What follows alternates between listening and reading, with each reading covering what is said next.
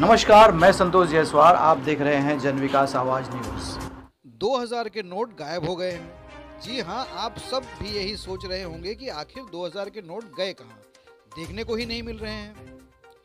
एक तरफ़ कांग्रेस नेता राहुल गांधी भारत जोड़ो यात्रा कर रहे हैं, हालाँकि उनको जन समर्थन भी खूब मिल रहा है। वहीं दूसरी तरफ़ पत्रकारों के बीच एक बड़ा सवाल लेकर कांग्रेस के प्रवक्ता गौरव बल्लभ ने एक बड़ी बात कही है, जिसे सुनकर आप सोचने पर मजबूर हो जाएँगे। और साथियों, एक पिंक कलर का 2000 का नोट था, आपको सबको याद होगा।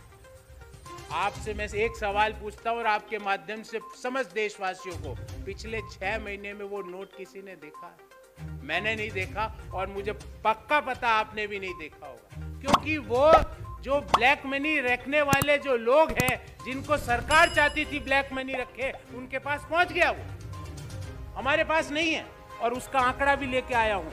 ये भी रिज़र्व बैंक ऑफ़ इंडिया का आंकड़ा है। 2000 की डिनोमिनेशन के 214 करोड़ नोट है।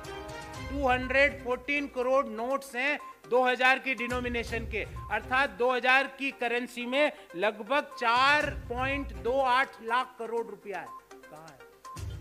मध्यम आय वर्गीय परिवार ने देखा, बैंकों ने देखा, निम्न आय वर्गीय परिवारों ने देखा।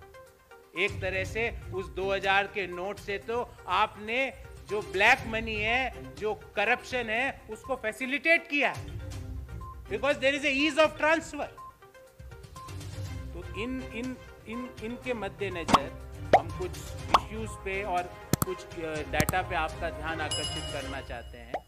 2016-17 में भारत की जी, और ये सारा सरकारी आंकड़ा है। 16-17 में भारत की जीडीपी ग्रोथ रेट थी 8.3 प्रतिशत 8.3 परसेंट हंसती खेलती अर्थव्यवस्था।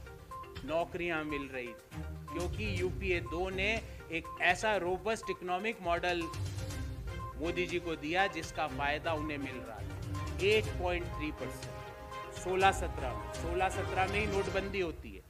सत्रह अट्ठारह में ये जो ग्रोथ रेट है, वो 8.3 से घट के हो जाती है सेवन परसेंट अट्ठारह उन्नीस में वो सेवन परसेंट से घट के हो जाती है सिक्स पॉइंट वन परसेंट उन्नीस बीस में वो सिक्स पॉइंट वन से घट के हो जाती है फोर पॉइंट टू परसेंट बीस इक्कीस में वो फोर पॉइंट टू से घट के हो जाती है minus six point six percent ये विकास यात्रा है मोदी जी की।